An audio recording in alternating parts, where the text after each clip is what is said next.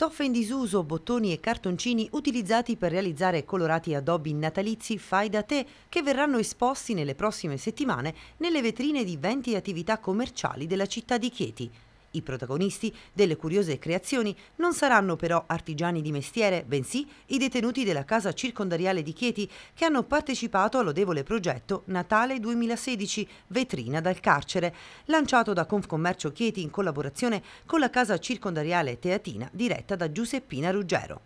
I lavori del laboratorio formativo sono stati coordinati attraverso l'impegno profuso da Stefania Basilisco, capo area educativa della casa circondariale. L'iniziativa è ovviamente stata molto allettante per noi perché dà la possibilità di eh, realizzare un, qualcosa di concreto ai detenuti, non solo perché eh, ovviamente hanno utilizzato il tempo della pena in maniera costruttiva, ma perché eh, la cosa dà proprio l'opportunità di ristabilire un patto di cittadinanza in termini positivi attraverso un oggetto che è come se iniziasse, eh, ricominciasse un rapporto, un rapporto di civiltà. Sono rimasta piacevolmente sorpresa dall'entusiasmo mostrato dai detenuti che hanno accolto la nostra iniziativa. Così Alessandra Costantini, commissario capo e comandante della Polizia Penitenziaria. Eh, mi ha fatto molto piacere il fatto che eh, abbiano risposto positivamente ad un progetto che ehm, per noi rappresenta tantissimo, in realtà rappresenta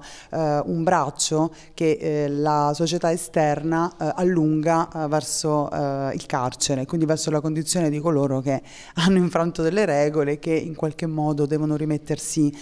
in gioco e prepararsi per la, la riuscita.